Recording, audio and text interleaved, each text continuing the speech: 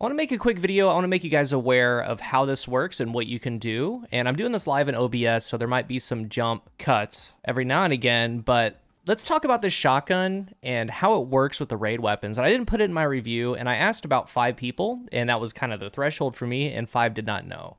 So we have conditional finality from the Root of Nightmares raid. And we have a whole bunch of weapons. It's kind of a like a tragedy for some things, but really good for others. But when you look at this perk right here, we have Acasia's Dejection. And I wanted to make this video because I'm getting ready to review. I have fully crafted a couple of them.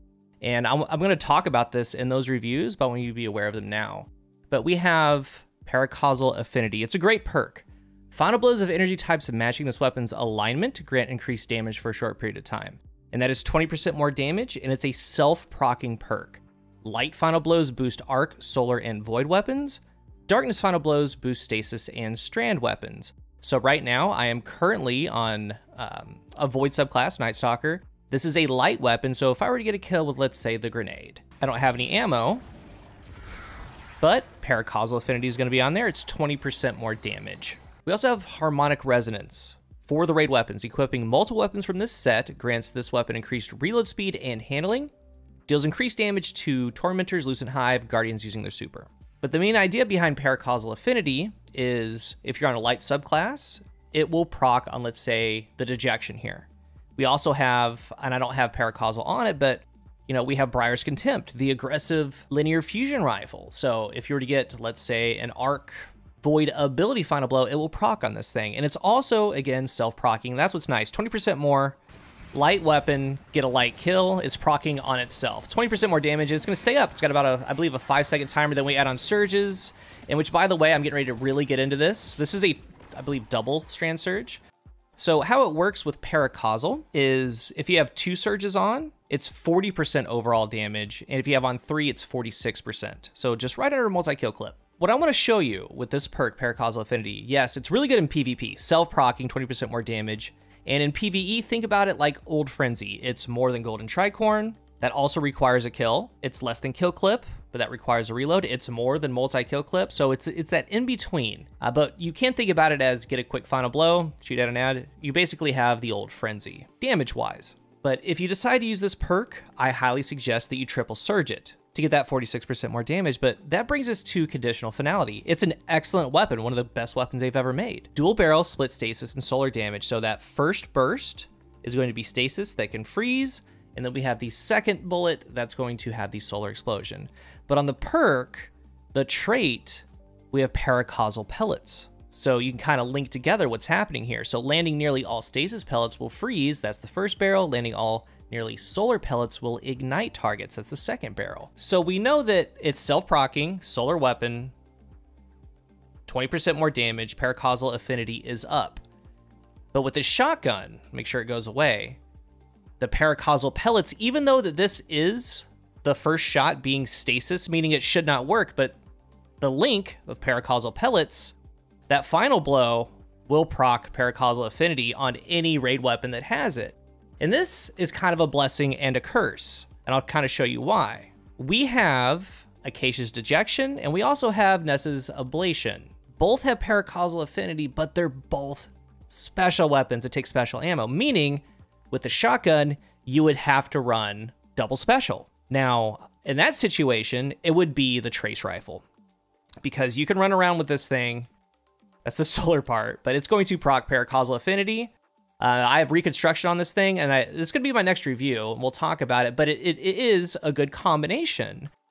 Double shotgun, not so much, right? But where this does help the most is we're going to take a look at Koraxis and Briar's Contempt. So when you look at the grenade launcher, if you're to run this shotgun, and again, all of this is centered around you're using the raid shotgun because it's awesome, but this thing has paracausal affinity. Maybe you can put on Reconstruction, Envious Assassin, Demo, Chain, whatever you want. But the idea is, when you get kills with a shotgun, you're procking this perk no matter what in the background. And again, if you're doing this combination, you do want to run Triple Surge. That way, it is 46% more damage, so that's going to be above target lock on some of these weapons. It's right under multi-kill clip times 3, which is one of the best damage perks in the game. And again, if you do get the siphons and you're running triple in this case Strand Surge, because it's a Strand GL, it's going to continually proc. And if you have like on time dilation, it's just always going to stay at 46% more damage. But probably the best raid weapon to run the combination with, again, if you do plan to run the shotgun, the best paracausal affinity weapon is going to be Briar's Contempt. This is the aggressive linear fusion. Maybe you can do liquid coils or accelerated, charge time masterwork, whatever. You can do paracausal affinity, do that with rewind rounds, maybe incandescent, but the idea is while you're getting kills with a shotgun, it's going to proc paracausal affinity. And what's nice is the second part of the shotgun is a solar weapon, so it's also getting the solar siphon. So that shotgun burst is going to get the extra triple surge. And you might be wondering, well, why not Harmony? But the deal with Harmony is Harmony can't self proc. So by itself, Paracausal Affinity, you shoot a yellow bar, or even an ad to get to a yellow bar, you're getting that 20% more. And hopefully, again, you have triple surge to make that 46% more damage, but you could run around with the shotgun and always pull to one of these heavy weapons with paracausal. That's where it's going to be the best. And that's why I said it's kind of like a blessing and a curse because it's really good with these heavy weapons. And I want to make you aware of that. So as you're getting your rolls, as you're crafting, if you have the shotgun, this is kind of what they were going for. Moving back to the game here, Acasia is going to be the second best option. And what I would have really liked is if we had a raid, I don't know, pulse rifle or scout, just something that could go right here that takes primary ammo that also has paracausal because we do have some of the weapons up here, like the sidearm, they have paracausal, but that's taking the place of the shotgun. The whole idea is that this perk right here can proc any of them in these. Doesn't have to be light, doesn't have to be solar. Just a kill with this will proc Paracausal Affinity on any weapon that's in your special or heavy. So quick video, I wanted to make you aware. Uh, the Trace Rifle is going to be next, and then I do have uh, Nessa's fully done and crafted. And uh, these are actually kind of hard, right?